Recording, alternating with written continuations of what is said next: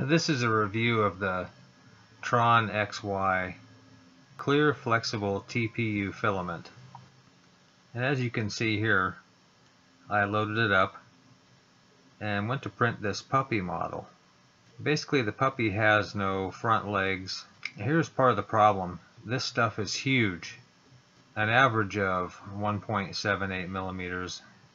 I cut another piece 1.77 Here's what it looks like compared to other 1.75 millimeter filament.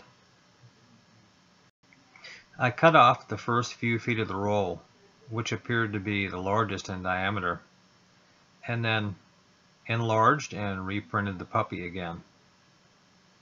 Here's the results. So how'd that turn out, Jenna? It's pretty good, I think. It's a puppy. Show how soft he is. And squish them. Those legs? They can walk.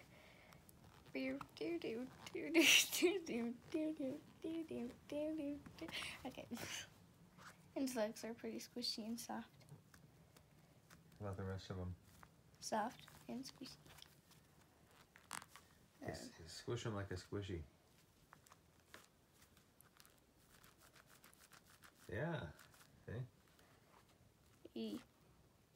E. There you go. Okay. This vase turned out really good. The material is almost completely clear. I love the way it reflects the light. Overall, it would be nice if the material was maybe not as big around as it is. Most of the TPU that I've printed with is smaller diameter with a tendency not to jam. Um, this is almost the same size as the Bowden tube on the inside and when it heats up it is hard to push it through.